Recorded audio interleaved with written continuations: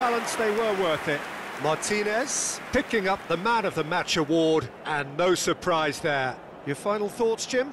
Well, tactically, they looked as if they got that spot on. I think when you push up at the back to the extent they did, then there must be a pressure on the ball ahead of things. Otherwise, your whole system is going to break down. And I think there was there was a good discipline about what they did really in affecting that. My thanks to Jim. We both wish you a very good evening.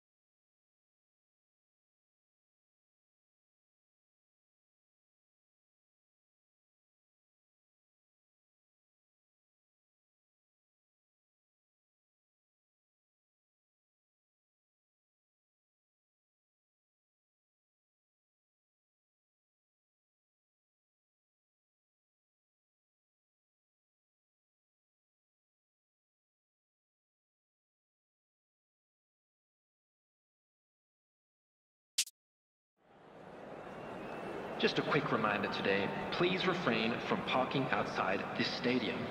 Thank you very much for your cooperation.